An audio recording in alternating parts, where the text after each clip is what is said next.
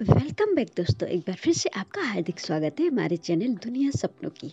और दोस्तों, सपनों की इस सीरीज़ में आज का हमारा टॉपिक है, यदि कोई व्यक्ति सपने में लाल मिर्च देखता है तो ये सपना उस व्यक्ति के लिए कैसा माना जाता है?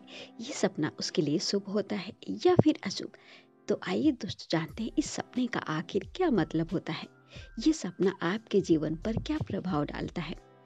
दोस्तों, स्वप्न शास्त्र के अनुसार यदि आप सपने में लाल मिर्च देखते हैं तो ये सपना बुरा नहीं, बल्कि अच्छा संकेत माना जाता है। ये एक शुभ सपना माना जाता है। इसका अर्थ है कि आने वाले समय में आपको धन लाभ होगा।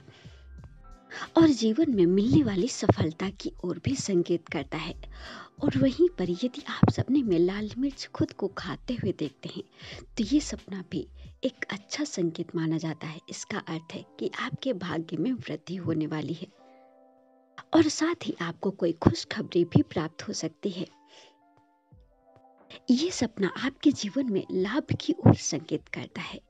और यदि आप सपने में लाल मिर्च खुद को खरीदते हुए या फिर तोड़ते हुए देखते हैं तो ये सपना भी एक अच्छा संकेत माना जा सकता है। इसका अर्थ है कि आपके जीवन में कुछ पॉजिटिव बदलाव आने वाले हैं, जिसकी वजह से आपको तैयार रहना चाहिए। और यदि हम इस सपने को साइकोलॉजिकल तौर पे देखते हैं तो ये सपना आपको तब आता है जब आप अपने जीवन में अपने रिश्तों को लेकर उत्साहित नहीं होते हैं, अपने कार्यों के प्रति उत्साहित नहीं होते हैं।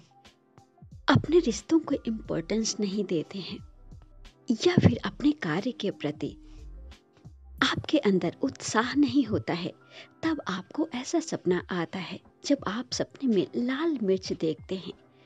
तो दोस्तों, मैं आशा करती हूँ ये वीडियो आपको पसंद आया होगा। अगर पसंद आए तो प्लीज़ वीडियो को लाइक कर दीजिए और साथ ही यदि आप हमारे चैनल पे पहली बार विज़िट कर रहे हैं तो प्लीज़ चैनल को सब्सक्राइब भी कर लें और इस वीडियो को ज़्यादा से ज़्यादा लोगों में शेयर भी करें और साथ ही हमें कमेंट करके ज़रूर बताएँ कि आपको ये वीडियो और ये जानकारी कैसी लगी।